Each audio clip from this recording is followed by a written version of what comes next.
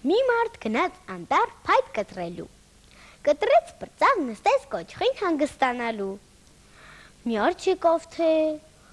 Հեյ, մարդ հարարած, արի մրցենք, իրար ուժ փորձենք։ Մարդը նայեց արջին ու մտածեց. Ոյ թե հսկա է հա, սրա հետ ոնց չափվեմ։ Թաթերը ստեղ մի ու շունչս կփչեմ։ Էհ, ասաց մարդը, ես քեզ հետ ինչ մրցեմ։ Նախ արի տեսնենք մեջդ ուժ կա թե չէ։ Այդ ժամանակ էլ կմկրվենք։ Իսկ ո՞նց պիտի փորձենք, հարցրեց դմբո արջը։ Մարդը կացին նարավ, կոճղի ծայրը ճղեց եւ ճեղքի մեջ սեփ խրեց։ Ու ասաց.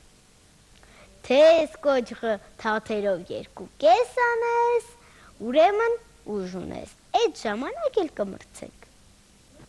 Դե արջեր, առանց երկար բարակ մտածելու թաթը ճեղքը մցրեց։ Մարդն էլ կացնով խփեց, սեպը թրցրեց։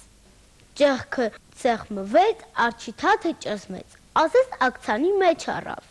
Հա, ասաց մարդը, հետս կկրվես։ Չէ, չէ, գորգորած արջը, չեմ մրցի։ Այ տեսնում ես ախպերս, ոչ թե միայն ուժն է կարևոր, այլ նաև խելքը ասաց մարդ մարդը եւ նորից սեբը խրեց ճեղքի մեջ արջը թաթը հանեց եւ առանց ետ նայելու պուկ փախավ եւ այդ օրվանից արջը վախենում էր ու խուսափում մարդուց. Սա էլ արջը